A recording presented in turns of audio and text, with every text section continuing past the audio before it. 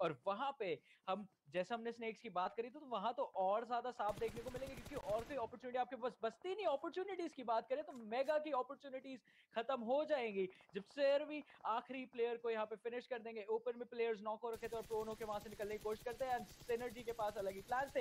But दूसरी तरफ़ soul के लिए दिक्कतें काफ़ी ज़्यादा बढ़ चुकी है। यू मुंबा के 420 ओपी उनको ऑफ़ रोटेशन में पकड़ेंगे अपनी M4 के स्प्रे के साथ। और काफ़ी ज़्यादा प्लेयर्स को नॉक करते हुए यहाँ पे रेगल टॉस आखिरी प्लेयर अपनी टीम के लिए बचे हैं। कॉर्नर पीक करके यहाँ पे 420 को उन्होंने स्पॉट कर लिया। पोजीशन का अंदाज़ा लग चुका है बट 420 के जो डोप किड है यू मुंबा के जो डोप किड है, वो अभी भी बैकलाइन में मौजूद है और यहाँ पे 420 ओपी चार्जिंग करने की कोशिश रिकॉर्ड उसके ऊपर काफ़ी ज़्यादा लो ड्रॉप करते हैं बट लूज उनका डैमेज भी काउंट होगा। एंड शॉट्स जैसे ही कनेक्ट होते हैं सोल के लिए that's gonna be it down to the top 3 team 7 players अभी इस गेम के अंदर ज़िंदा है। और यू मुंबा के दो प्लेयर्स जो है, तीन के साथ जर्नी स्टार्ट करी थी, दो अभी भी ज़िंदा है 420 OP and dope kid but दूसरी तरफ़ गॉड लाइक भी काफ़ी ज़्यादा स्ट्रॉन्ग जा रही है इस गेम में। पंद्रह किल्स हैं इस टीम के पास क्रैट एग्जैक्टली बट उनके पास हाई रेंज है बट वहीं पे 420 बिल्कुल प्रोन डाउन करके बैठे हैं। थोड़ी सी भी वीक पोजीशन काफ़ी ज़्यादा मुश्किल हो गई। वहीं पे डोप किट को यहाँ पे उन्होंने नॉकआउट करा किल कंफर्म करने की कोशिश कर रहे हैं। उन्होंने 3x लगा रखा है अपनी 416 पे, और 3x और 416 एक बहुत ही ज़्यादा डेडली कॉम्बिनेशन है। और वहीं पे दूसरे अंक पर यहाँ पे टेड और ऑस्टिनेक्स है। सिनर्जी गेमिंग के दो प्लेयर हैं यहाँ पर। छह में से तीन पे यहाँ पे गॉडल के हैं, दो प्लेयर यहाँ पर सिनर्जी का, और एक अकेला 420 बचा है यहाँ पे यू मुंबा का। 420 अभी भी होल्ड करके बैठे उन्होंने सीधा प्रोन अभी तक नहीं देखा एग्जिस्टेंस उनको स्पॉट नहीं किया और इंटेलिजेंट ऑप्शन यही है। बट अगर आप जोन की तरफ़ देखेंगे, तीन नंबर, पाँच के पास सबसे ज़्यादा फेवर है, जो कि सिनर्जी है। अब गॉडल को धीरे धीरे रोटेट करना पड़ेगा। अगर इस रोटेशन के बीच में सिनर्जी गेमिंग के प्लेयर ने टीपीपी लेके अच्छा फ़ायदा उठाया then you never know we can see then edge taking the second है ना? बट ऑस्टिन एक्स और स्टेड इस गेम के सबसे शातिर और विशियस प्लेयर है। एक गलती भी, और ये बहुत बड़ी गलती ऑलरेडी ऑस्टिन कर चुके हैं यहाँ पर। टेड को यहाँ पर ऑस्टिन को बचाना ही पड़ेगा और वहीं पे गॉडल सर्कल में काफ़ी सेफली रोटेट कर रही है। And they are approaching circle from the slower end वो एक्सट्रीमली राइट से पोजीशन यहाँ पे ले रहे हैं यहाँ पर। टेड पे फोकस हो रहा है यहाँ पर। गॉडल के जो कैरी है, वो लेफ़्ट से आ रहे हैं वहीं पे एग्जिस्टेंस और गिल राइट से आ रहे हैं। बट उनको ये नहीं भूलना चाहिए कि ओ नो डाउट उन्होंने यहाँ पे 420 को उड़ा दिया यहाँ पर। इट्स अ 3v2 सिचुएशन क्या यहाँ पे रिवाइव दे पाएँगे? टेड पे एक बहुत बड़ा प्रेशर हो सकता है यहाँ पर। टेड कोशिश करे डैमेज देने की बट अफसोस नॉक करते उससे पहले कुछ खास आउटपुट नहीं निकाल पाए। टेड अभी भी कोशिश कर रहे हैं उस पत्थर के बीच छुपे हुए बट हमने देखा है बॉम्बर भी सिचुएशन में थे और उन्होंने यहाँ पे चिकन निकाल के दिखाया था। टेड ने यहाँ पे गॉडल के कैरी की किल कंफर्म करी है।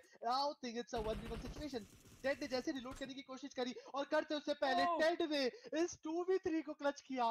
एंड ये सिनर्जी के मेगा स्टार्स के वेक्सी को स्पॉट आउट कर सकते हैं। यहाँ पे आईएनडी स्लेयर के साथ फाइट देखने को मिलेगा इनका। Team IND versus team mega stars yes finally mega stars वो एक पुराने फॉर्म में आते हुए वेक्सी ने वहाँ पे बहुत ही प्यारे तरीके से आराम से यहाँ पे टीम एक्सट्रीम के वाइपर को फिनिश कर दिया। बट फ्नाटिक ओवेस वहाँ पे बीएसटी क्रॉलर्स के सीजी को नॉक करते हुए कैरी यहाँ पे उनकी गन रुक ही नहीं रही है प्रोटोटाइप को भी नॉकआउट कर चुके हैं। आईएनडी स्लेयर यहाँ पे पुशिंग करते हुए टीम गॉडल की तरफ़ बेबी गॉडल के प्लेयर को स्पॉट आउट ज़रूर करेंगे। गॉडल के स्मोकी यहाँ पे जान मारा के नैंग को स्पॉट आउट करते हुए इंस्टेंटली उनको नॉक दे चुके हैं।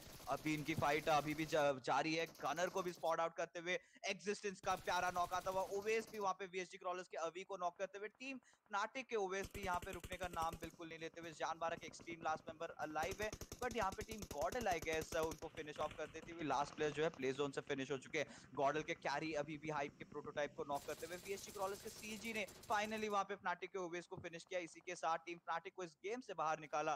बट बात करते हैं टीम गॉडल की, ये टीम कब रुकेगी? कोई ऐसी एक टीम है क्या जो इनको रोक सकती है अभी के लिए? क्योंकि जो रिच एडवांटेज है, जो यहाँ पे हाई ग्राउंड एडवांटेज इन्होंने ले रखा है that is out of this world and जैसे हमने स्टार्टिंग में ही बोला था, अगर ये रिच एडवांटेज आप रखते हो आई डोंट थिंक आपको कोई रोक सकता है। एंड यही होता हुआ टीम गॉडल यहाँ पे भारी पड़ती हुई टीम मेगास्टार्स के ऊपर, टीम आईएनटी के ऊपर। मेगास्टार्स के स्वैग ने वहाँ पे, टीम आईएनटी के दो बंदों को चटका दिया। स्लेयर ने वहाँ पे स्वैग को ज़रूर नॉक कर दिया, बट यहाँ पे किल चुरा दिया जाएगा गॉडल के प्लेयर के द्वारा।